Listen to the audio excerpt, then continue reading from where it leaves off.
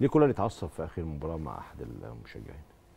آه القصة ليها شوية كواليس. يمكن إحنا معانا اللقطة. لو نستعرضها هي بعدسة زميلنا محمد العزالي. آه الموضوع حصل بعد المباراة مباشرة. واحد من الجماهير وده عادي بيحصل. راجل لم يتجاوز ما شتمش. عم يقول له فوق فوق أنت نايم فوق. وده اللي حصل في اللقطة. آه اللي اللي هي ظاهرة معانا دلوقتي.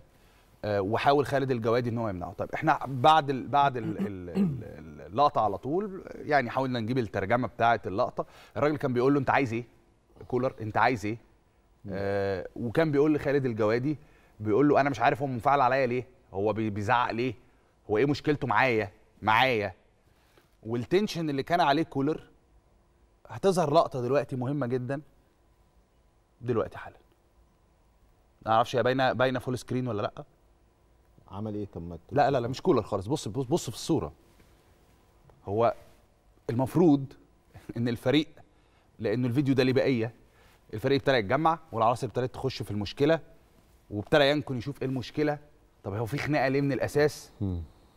ده الجزء الأولاني من القصة. طيب استتبعوا. كولر خد اللعيبة زي ما الناس كلها عرفت وراح على التتش. انفعال درجة الانفعال كولر انفعل على اللعيبه كتير قبل كده. لكن درجة انفعال كولر النهارده في التتش في في الجزيرة يعني على اللاعبين ما حصلتش قبل كده. وقال لهم التالي قال لهم قال لهمش مشكلة فنية خالص.